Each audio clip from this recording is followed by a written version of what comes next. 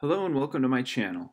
This is the first of a multi-part series outlining this recent detailing project I had with six different cars, but the first video is just going to be this 1963 Corvette Stingray convertible with an automatic transmission, and it turned out absolutely beautiful. The remainder of the series will include the 1967 Corvette you can see in the background, two 1969 Corvettes, a 1973 Corvette, and a 1977 Pontiac Trans Am. Stick around to the end of the video to hear more about my channel and the kind of videos I plan on uploading in the future. Again, thanks for checking it out and I hope you enjoy the detail. The first car is going to be this 1963 Corvette Stingray convertible. It's a, it's a pretty nice car. It does have some original paint on it. Going to be some thin spots to be aware of. Doing the paint correction. But inside, this thing is actually very nice. Not a whole lot of work to do in here. Um, it's pretty clean, like I said. So let's take a look under the hood.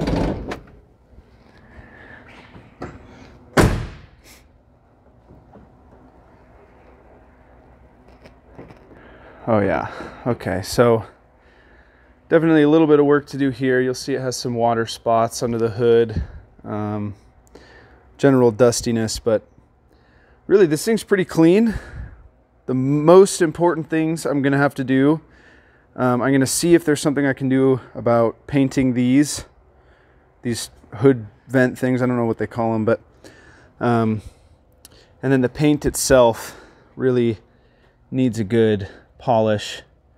I don't know how well the camera's gonna pick this up, but there's a lot of swirls, a lot of small scratches. So plenty of paint correction to do and uh, plenty of work.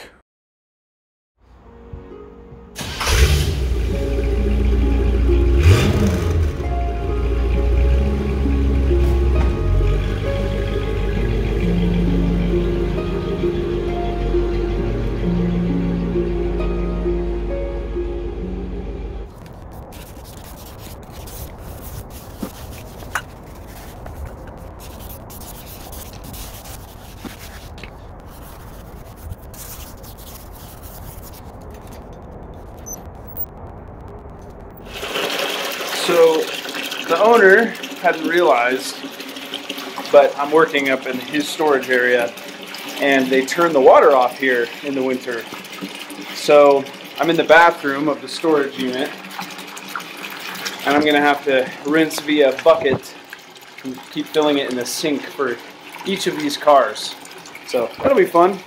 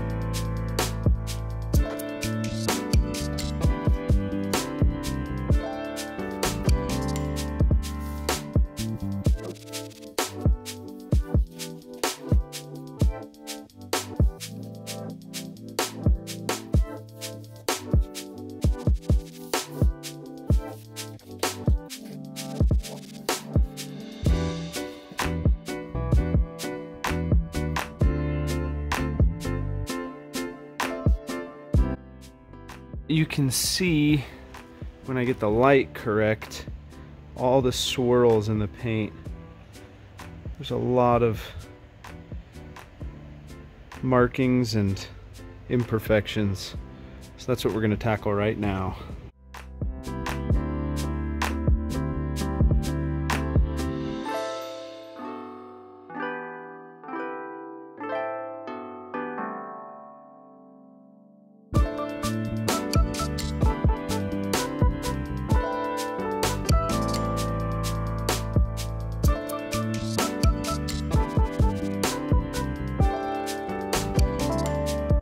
Finished about half the trunk lid uh, with just an initial pass. I'm going to do some more work, but just to show you the difference, this is the side I haven't worked on, and this is where I have worked.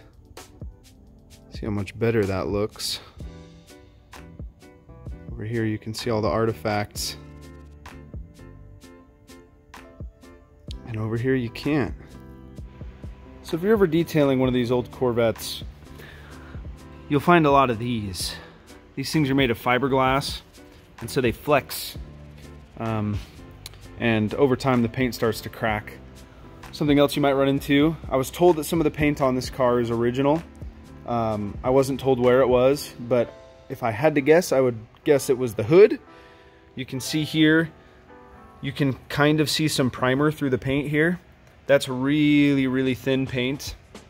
And despite the fact that it's all swirled up on top, I am going to probably not even not even really touch that until I get to the final step, which is just a really fine polish to try to put some shine on it. Um, because I don't want to burn through that paint any more than it already is. You can see it, it already doesn't look very good. Um, I don't want to make it look any worse. So when you're polishing, when you're paint correcting, watch out for thin paint, watch out for cracks, you don't want to be going over this with your pad and have it catch in the crack and, and peel up a chunk of paint. That would suck. So just be aware of, uh, of what you're doing.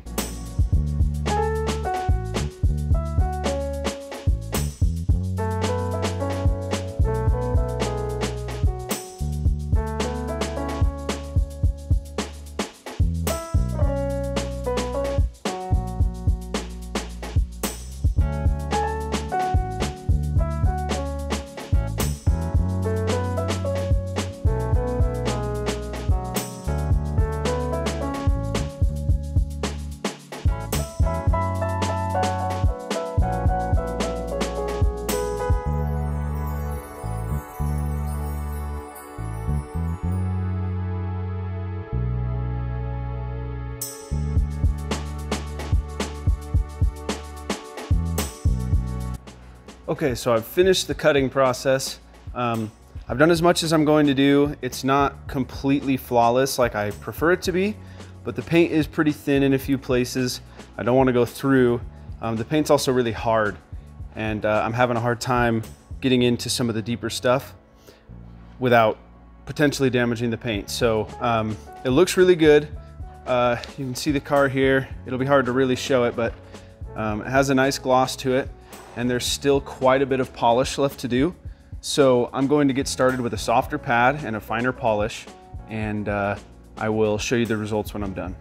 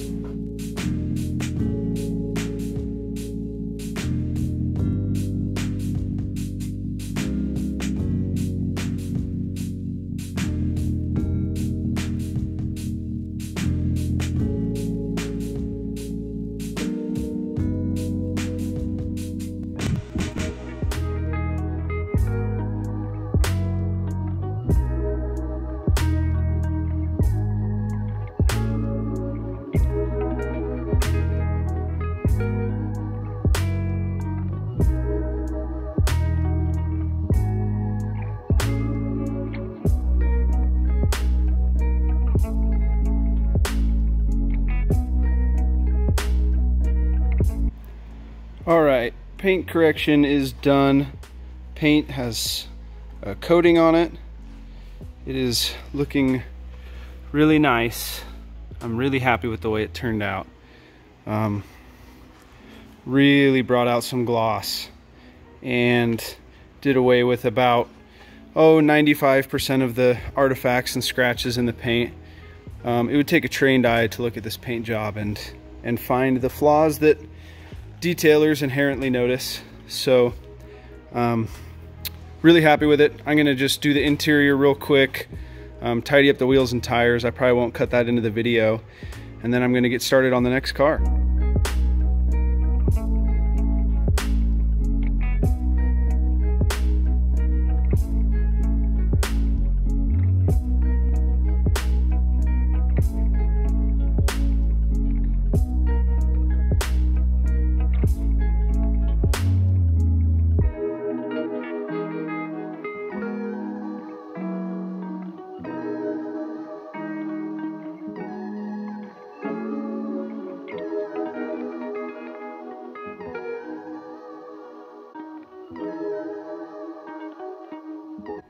Okay, so now I'm going to work on these hood vents. Um, I'm going to go ahead and remove all the old paint. I'm going to polish them up a little bit, and then I'm going to get them painted up. So to remove the old paint, I'm just going to use some lacquer thinner and some fine steel wool. That should take the paint right off. I'm going to polish them up just with a little bit of this cheap Nevr-Dull wadding polish that I picked up. And then to tape them, I'm going to use this eighth inch pinstriping tape. I'm gonna tape all the raised lines and then maybe do a little bit of scuffing to give it something to adhere to and then uh, paint it all satin black. And when I'm done, it should look brand new. So let's get started.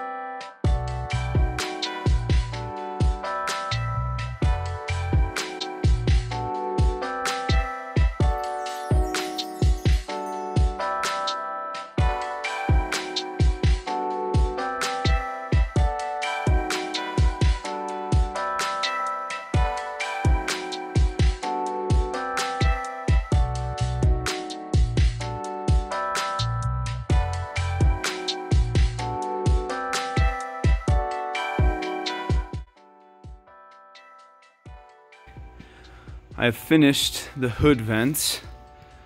This one came out better than the other. The other has some fish eyes in the paint, but you know, they look really good.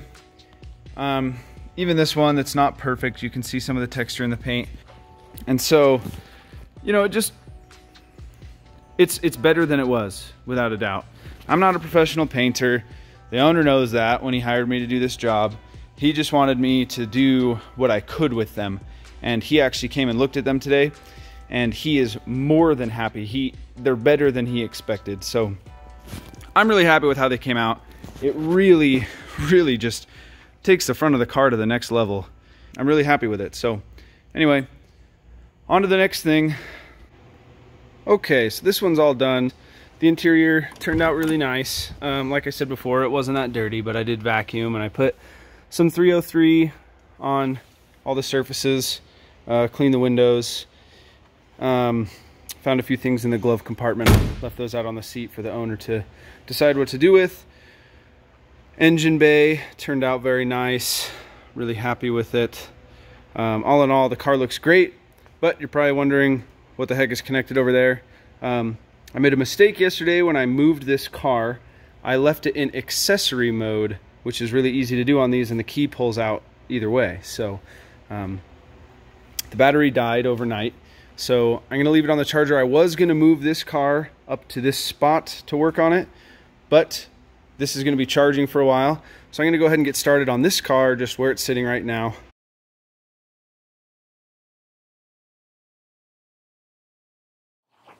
Hey, and thanks for sticking around to the end of the video. I thought about putting this at the beginning, but I decided I never like watching videos where people just sit there and talk forever right before they get into the material. Everyone wanted to see the detail, they wanted to see the pretty car, and so I decided to make the intro really short and then, you know, throw this on the end. So basically, uh, this channel is an opportunity for me to share some of the things that I do. I used to detail full time, um, and I decided to go back to school and study accounting. I now have a job related to accounting, but I still do detailing jobs on the side along with various other projects. I've been kicking around the idea of starting a YouTube channel for quite a while now, and so now that I'm done with school, I thought, great, I'll start filming some of my detailing jobs. Um, I've got a few projects on my own cars I've been wanting to do. I'll be adding those to the channel as well. So basically, um, some of my hobbies include detailing, obviously, it's something I do on the side. I don't really need to. It's not something I have to spend my time on, but I enjoy it, and it's a good way to make a little bit of extra money. So detailing, I like working on my own cars. Um, I try to do all my own maintenance on my cars, everything that I can do. And I'm not a mechanic. I've worked in the car industry most of my life, but it was almost always on the cosmetic side, detailing, uh, minor painting, things like that. I worked at a at a dealership basically, and cars would get traded in. It was my job to make them ready to put on the lot and sell. So um, I'm not a mechanic, but I like working on my cars. Uh, I do, you know, minor to moderate repairs and um, modifications to my cars. I own three different cars, and you'll see them on this channel, all three of them most likely. I have a 2003 Mini Cooper, not a Mini Cooper S, just a base Mini Cooper.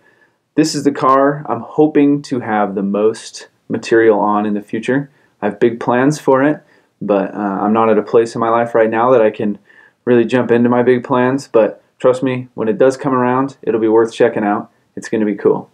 Um, second car is a 2007 Toyota 4Runner. It's a V8. It's a great car. Um, we really love it, and um, I've done you know I've done some minor stuff to it. I put a leveling kit on it. It is due for a wheel bearing. I might do a video on that. And then my third car is a 2007 GMC Sierra Duramax. So this is uh, one of the more popular years for the Duramax. It's an LBZ engine code. Those of you who are familiar with it, um, it's a cool truck. I don't do a lot of diesel stuff. I'm not a huge diesel tuner kind of guy, but um, it's a great truck. It's done well for me. I use it to tow. Um, I tow my boat with it. I tow heavy trailers with it. I've helped I don't know how many people move with it. Um, so you probably won't see as much of that one on the channel, but you might see some of it. So um, that's something to look forward to. I also like to garden. Um, I grow mostly peppers, and I definitely plan to do some gardening videos. So the whole point of this channel is it's called Nick Does Everything because I really I have my hand in a lot of different hobbies, and I'm always willing to try new things. And so um, it's going to be just a lot of a lot of different things together on one channel. It's not going to be just a car channel. It might be mostly cars, but it's not going to be just a car channel. Um, there'll be some other cool stuff too. So gardening, my peppers. Um, I plan to do not as much tutorial videos, but I will talk about stuff and I more want to just inspire people to try new things. You know, if you've never grown a garden, after you watch some of my videos, you might think, wow, that guy's only 26 years old. He likes to garden. You know, I'm not too young or it's not weird for me to grow a garden because I think gardening is a great hobby. So hopefully some people out there will watch some of these videos and, and get something from them. You know, whether you decide to grow a garden or you just think it's cool or whether you decide to start working on your own cars or you want to try detailing your own car. What I want to do is just show people I'm just a normal guy and I do all this different stuff. I, I'm willing to try whatever. It's, it's good for people to try new things. It's good for people to get out of their comfort zone. And when you start doing like maintenance on your own cars and detailing on your own cars, there's a few reasons that I think it's good for people to do this. First of all, you're going to save money.